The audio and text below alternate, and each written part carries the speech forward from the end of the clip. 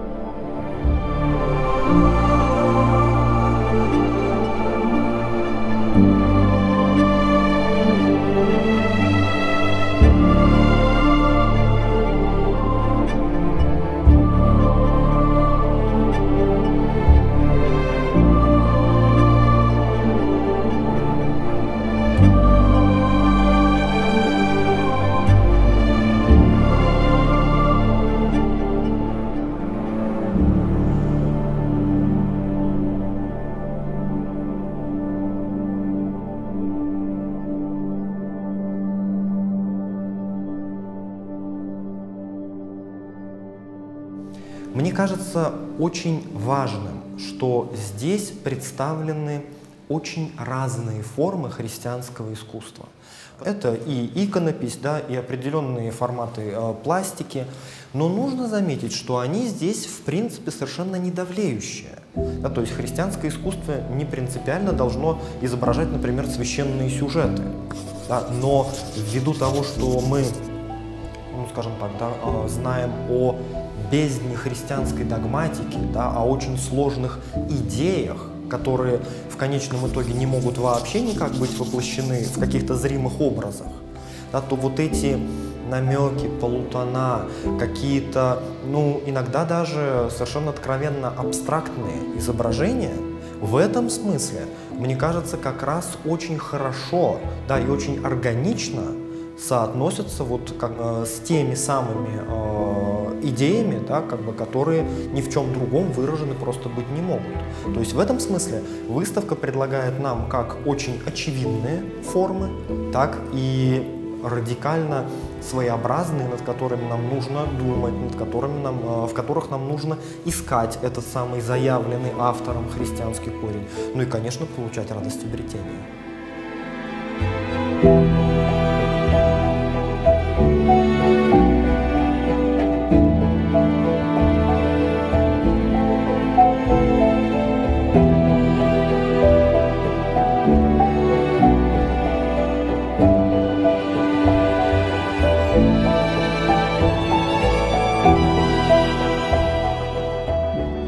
Я не знаю точно, кто формировал эти работы, но я очень благодарна, что отобрали мои работы, и что вот это вот мой муж Камелин, вот целая вот эта вот экспозиция с его э, грехами, то есть ну, и с его грехами, и с общими грехами. Это он так себе представляет грехи. Правда, кто-то сказал, что слишком, слишком уж красивые грехи. Надо было сделать что-то похожее. У меня есть тут любимые художники – и я знаю, как это, с каким трудом это сделано, эм, ну, с таким душевным трудом, не, не физическим. Выставка замечательная. Я просто вот при таком беглом осмотре я даже не представляла, что можно сейчас сделать такую красивую выставку.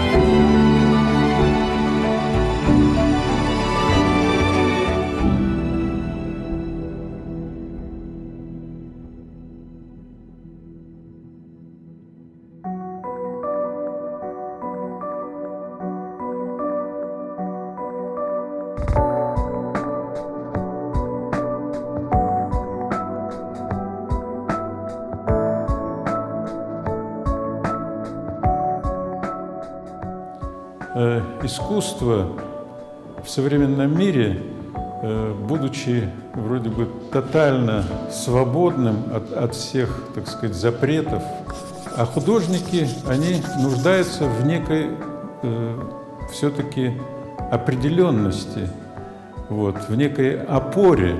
И в данном случае вот, э, э, автор этой экспозиции, Егор Чихал, он э, удивительным образом выстроил пространство этой выставки, э, совместив и совершенно канонические иконы, и абсолютно, так сказать, э, авангардное прочтение вот этой э, сегодняшней ситуации, в этой потребности людей э, добиться какого-то просветления в, та, в той тьме, которая, в принципе, вот, э, распространилась на сегодняшний мир. И в данном случае Академия, я думаю, сделала очень правильный шаг для того, чтобы продемонстрировать эти сегодняшнюю, эту сегодняшнюю потребность людям.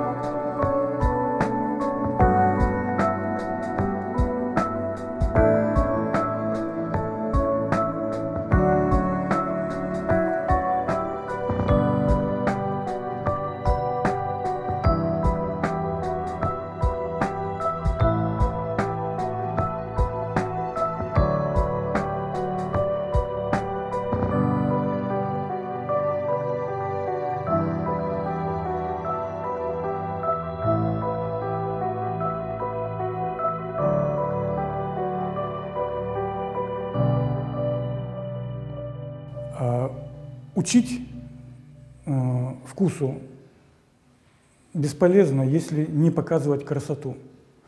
Это так же, как э, бесполезно э, изучать богословие, если нам не видны праведники. А, потому что, как известно, э, красота – это одно из имен Божьих. И в этом смысле э, большой вопрос, что такое христоцентричное искусство, вообще христианское. Трудно сказать, что более христоцентрично гениальный натюрморт или э, плохая, бездумно срисованная икона. Дело в том, что красота недоказуема так же, как недоказуем Бог. Мы уже знаем, что это э, одно и то же лицо. Если бы Бог был доказуем, и красота, это была бы катастрофа потому что у нас не было бы возможности выбора. Совершая выбор, мы создаем себя. Эта выставка имеет э, громадное значение именно для роста каждого зрителя.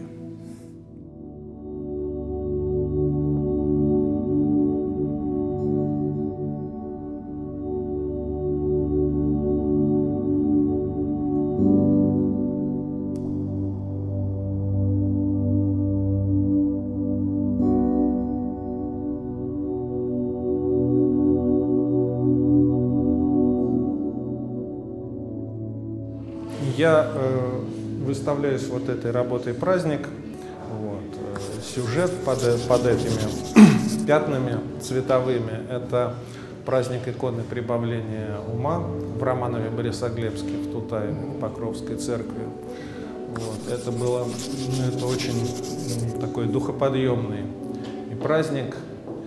Мне кажется, она хорошо корреспондирует с темой этой выставки просветления потому что как бы лейтмотив этой выставки, как я вижу, современное христианское искусство.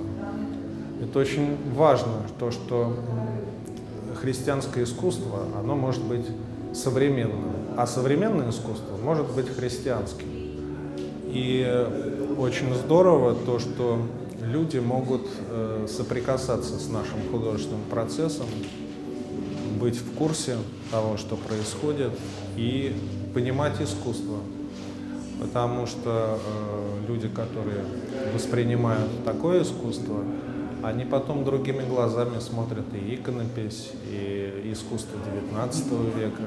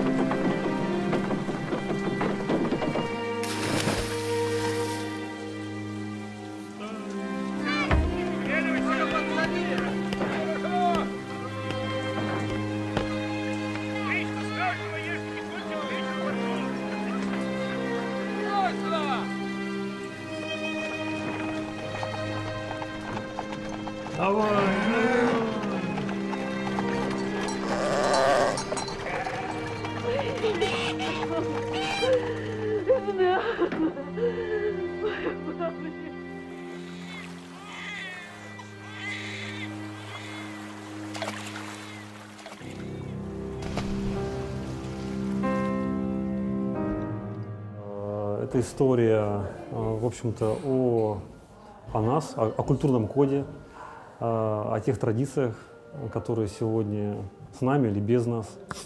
Удивительным образом все-таки есть соединение э, моей темы с сегодняшней выставкой, э, потому что здесь есть центральная тема и центральная главная мысль о том, что есть Создатель, который создал эту планету, создал нашу Землю, дал нам ее в обиход. Э, и, в общем-то, то, что на ней происходит, то, как мы по ней идем, это, в общем-то, наш крест.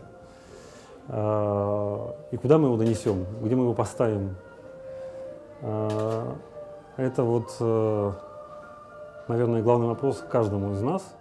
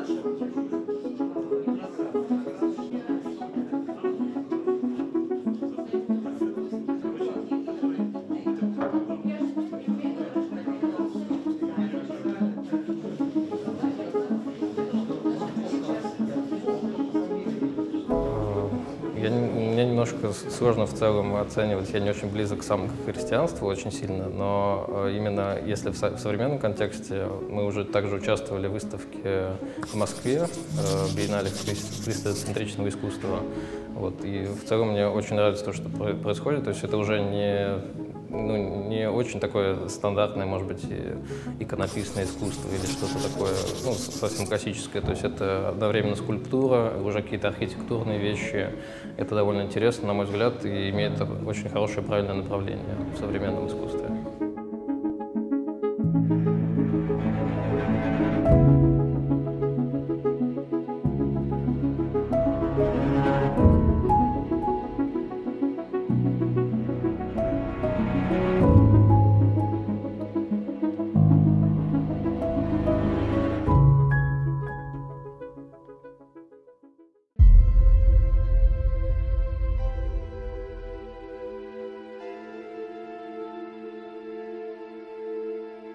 Во-первых, нам хотелось актуализировать литургические формы изобразительного искусства.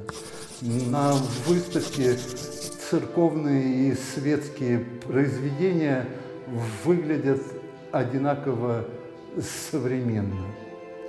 иногда зрителю будет даже сложно отделить одно от другого. Во-вторых, нам э, было важно показать, что современный художественный язык вовсе не обязан противоречить традиционному, а напротив они могут успешно взаимодополнять друг друга.